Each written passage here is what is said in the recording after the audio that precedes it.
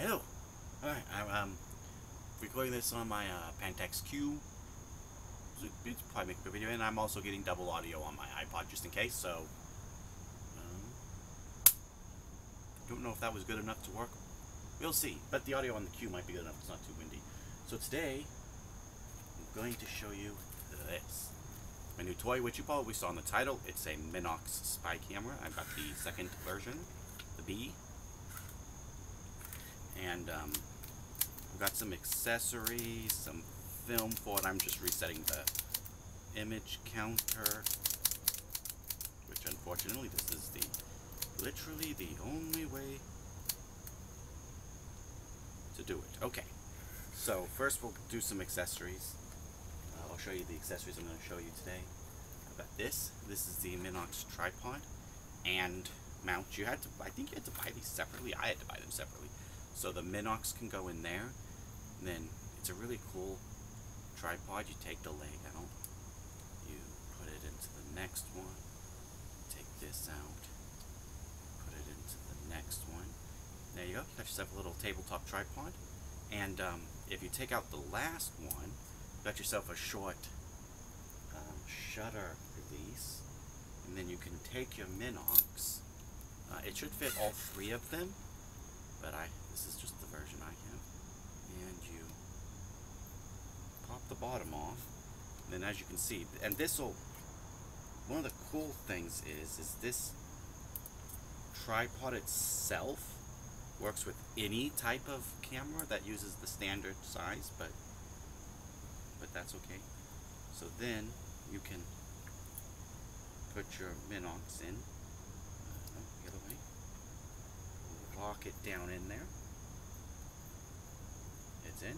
Then this will go over the shutter release when it's pulled out. And then you can take your little shutter release cable, screw that in there, and fire the shutter on a tripod. And it can roll sideways, so you can shoot it sideways too. And um, I think you turn this, tightened, you turn this to like tighten down the knob, but tighten down the ball which is all pretty cool. Cool little accessory. Neat little, gads, giz, gizmo. I'm gonna put this back in because if I lose that, I will be sad. That's not the right spot. That is. And um, so this is the second one. So it has a light meter. You just point it and press the button and it releases a very tiny little needle which you're probably not going to be able to see uh, with my finger over it you can see it's low and then my finger off of it it should go up and um, that tells you what um, so you can actually rotate the shutter speed. And you want to rotate it till the till the thing is pointing at it and uh, pointing at the line it lines up with. And that tells you well that that's how you um, actually set the shutter speed which is cool. And then you can also set the distance. Now, one thing it also, another thing it has, which I really like, once I put this back in, so it has um, focal distances ranging from 8 inches to 6 feet and then infinity. And on here, that is the focal length at 8 inches. Then that's the second, third, fourth, and if you go all the way out which is kind of hard to do with this. But if you go all the way out to the end, that's two feet, and then you have to guess for four. Between two and six. And then otherwise you can set it to infinity. Which is really cool. So if you're doing close-up shots, which it does pretty well at, you actually can get up to 8 inches and you have exactly how far away from your target to point your camera.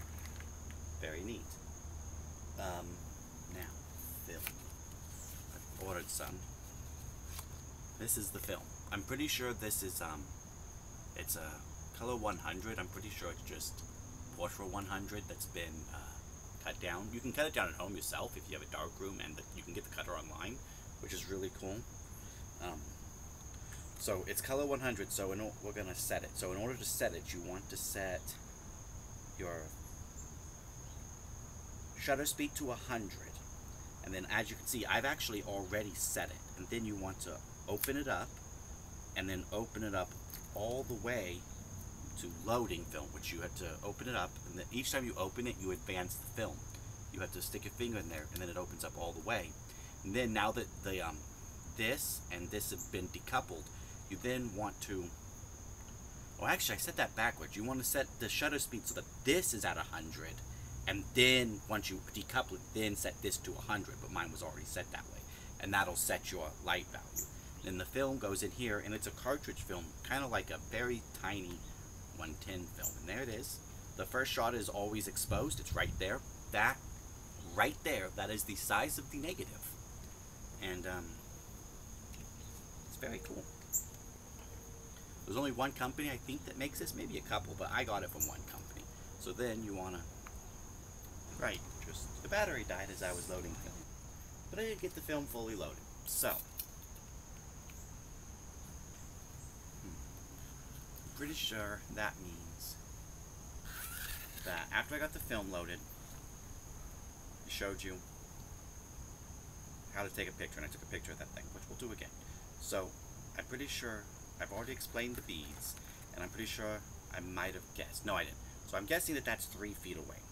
But now that I've taken a picture, I'm actually going to go a little less than three feet, because it might be closer than three feet. So to take a picture, you just pull it out. You want to get a measurement, and that will tell you here on top about what to set your um, shutter speed to, which I have set my set my shutter speed to that. It's uh, just just below a, a thousandth of a second, and you measure your distance or your guess, and you just point and pulling out the act of pulling it out sets the shutter. Uh, you don't want to get your fingers in front of that bad boy, and you point and shoot, and it took a picture, and you close it back up. Now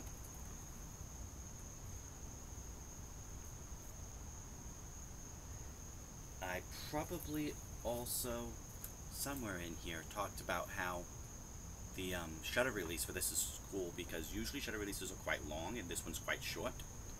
And it works for all of my 35 millimeter cameras.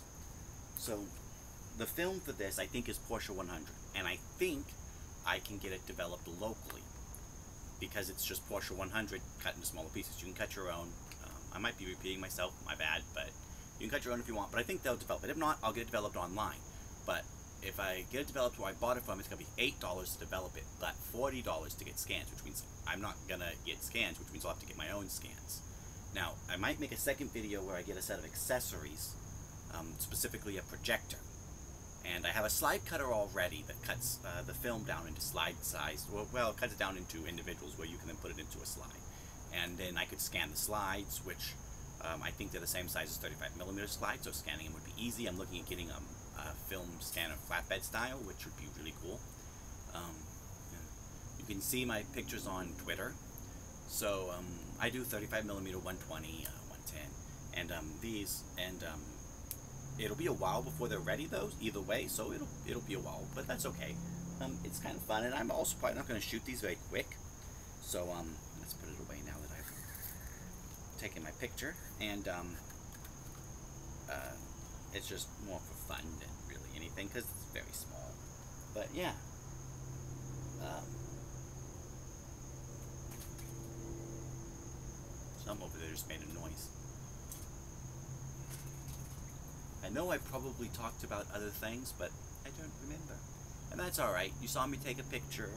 I definitely showed how to do the settings and um, I know my counter is off, but that's okay. The light meter, and it also has a flash sync, but I think it would be kind of silly to get a flash for it. Plus, I think the flash for it uses individual flash release, or flash bulbs, which means you have to keep buying them. So I'll probably just use it for outside shooting, close-up shooting, stuff like that.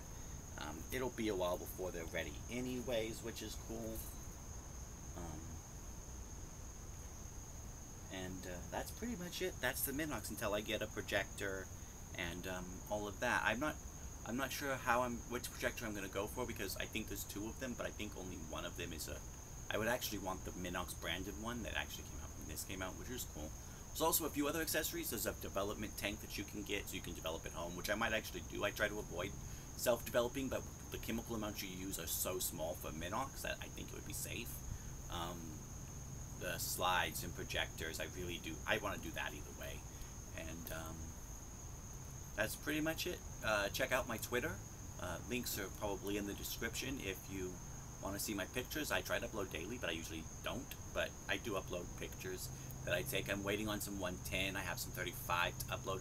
I have another roll of 35 that I need to scan because the scans that they gave me were well, actually, the scans that they gave me were good, were correct, but the film didn't take correctly, so it all ran together. So I need to rescan it myself, and then just like make some pick where because the the film didn't advance correctly in the old uh, Harry Potter camera that I've probably shown, or maybe not, and um, so they were all smushed together, which is it turned out to be kind of neat, but um, I still need to I need to take those scans again myself and I have a scanning system all set up and we'll see. Hopefully I'll be able to use that to also scan these. I scan them with my phone, which is why I got a newer phone. Not new, but newer. And um, yeah, that's it. Minox spy camera. So I didn't really give great detail. So this is an actual spy camera. It was um, made in uh, 48, this version, the second version. There was a version made before that and a version made after that. And I might end up with the version made after that too. It's a little harder to find because less of them were made but it takes a battery, so it's a little bit more automatic. It's a little bit bigger, mostly longer, but I still think it would be cool to have, depending how accessible the film is itself, because buying it wasn't too expensive. Getting it developed isn't too expensive, and if I can get it developed locally, it would be even better. But getting the scans might be difficult, and if it's impossible, then it'll be expensive because I'll have to pay someone to do it, or I'll have to find a scanning device that can do it, and maybe I can do that eventually. I'll hope. But um, we'll see. Thanks for watching, and I will see you all later. Bye.